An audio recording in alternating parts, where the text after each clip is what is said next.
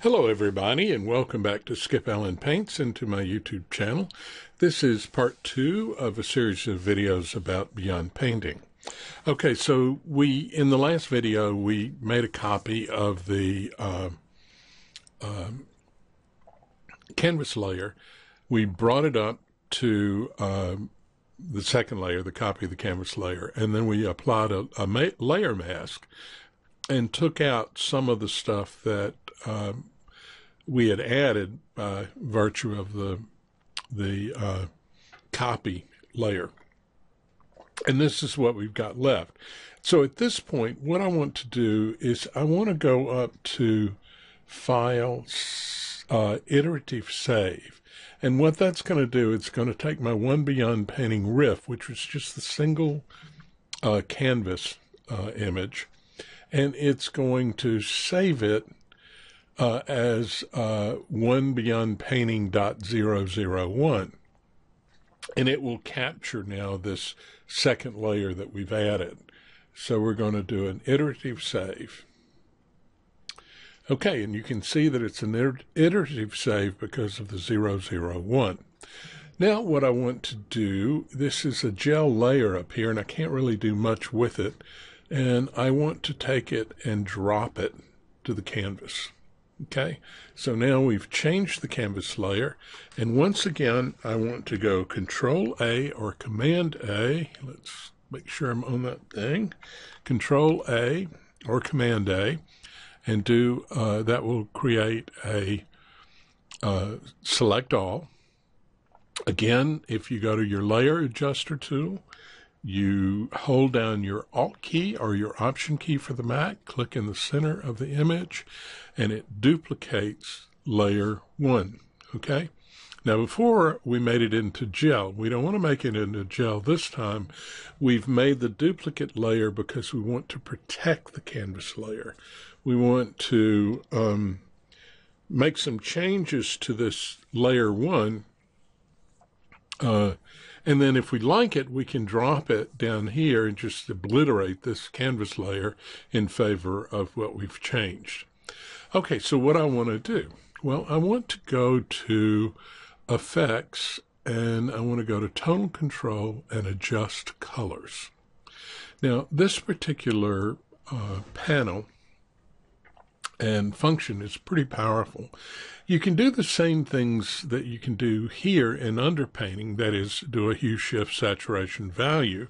Underpainting has some extra things that you can do, like brightness and um, contrast and, um, you know, some other stuff that makes it desirable in many cases just because it does a lot. But what underpainting doesn't have is the ability to use paper, image luminance, or original luminance. And just real quickly, let's try and see what those are about. If I take my value slider down, then you see, whoa, we get this really dark color happening all over. It's because the value uh, was darkened uniformly uniformly throughout the image. If I do the drop down and click on paper, now it's showing my paper texture. And again, it's by value. It's taking the darker lines and making them darker, the lighter areas a little bit lighter, and it's showing the paper texture.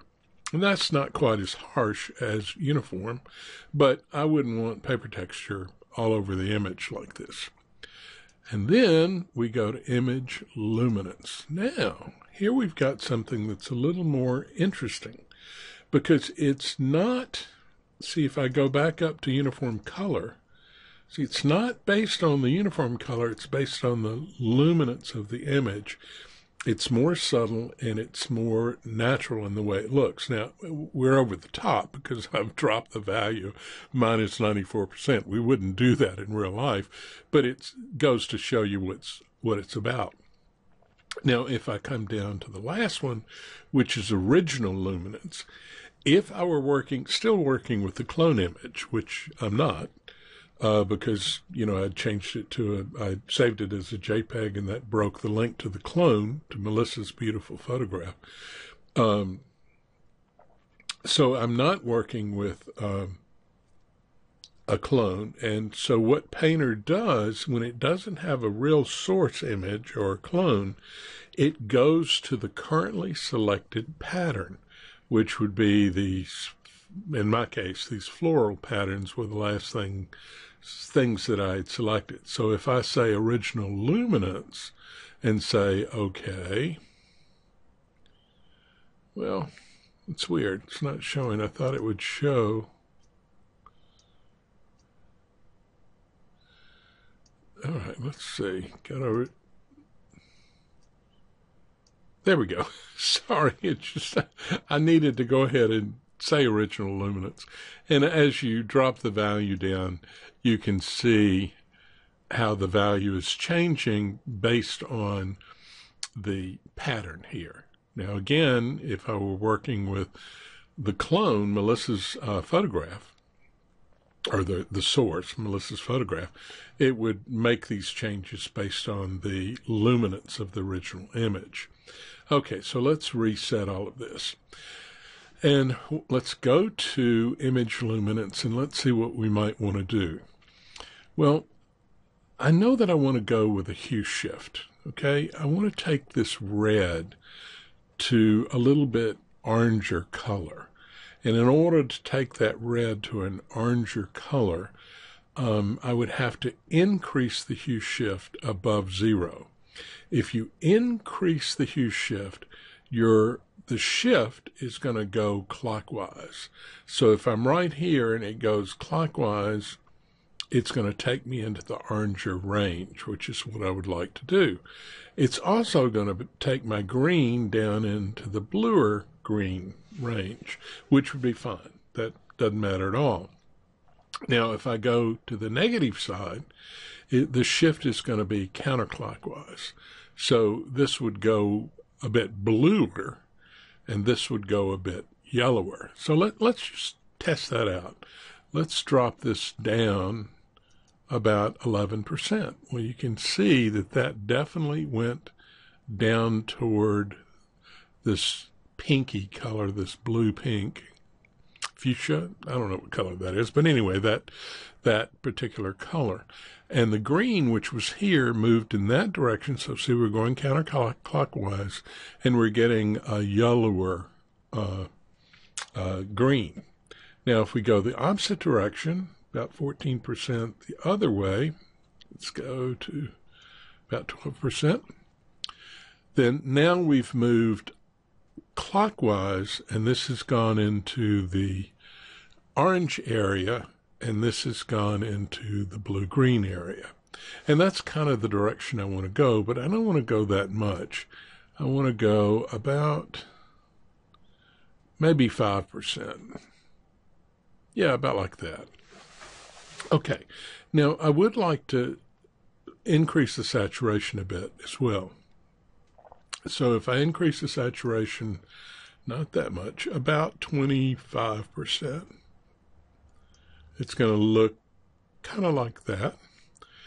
And then I want to drop the value, not 18, but about 5%. About like that. And I'm going to say, okay. Now I've taken that same image that I had before and I've altered it utilizing uh, adjusted image. I'm sorry, adjusted color. And that's pretty cool because I've done it according to the um, image luminance of this particular image. Now, again, we we when we made that new layer, our icons are gone. So I'm going to come down here to Canvas and back up to layer one, and I've got my icon availability again. Now I'm going to click on a layer mask. I've got my channel painter. I'm going to go not all the way up to gray this time. I'm going to come down about there. And what I'm going to do when I go in with the channel painter, I'm going to bring pink back into here. Not the orange, but a pinker kind of color.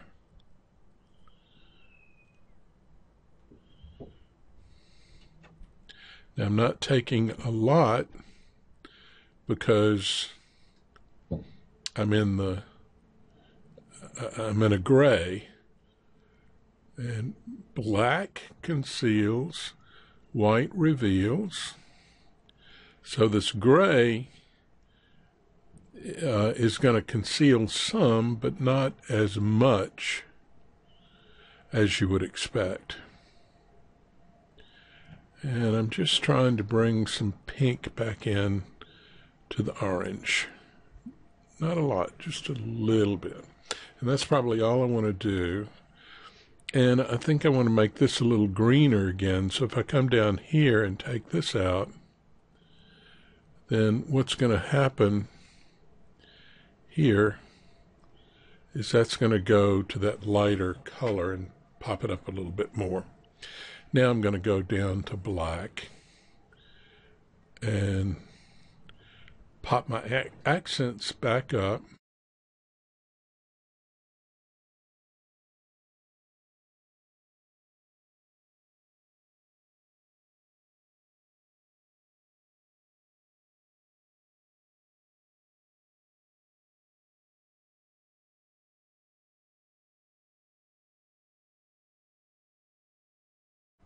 Just about like that.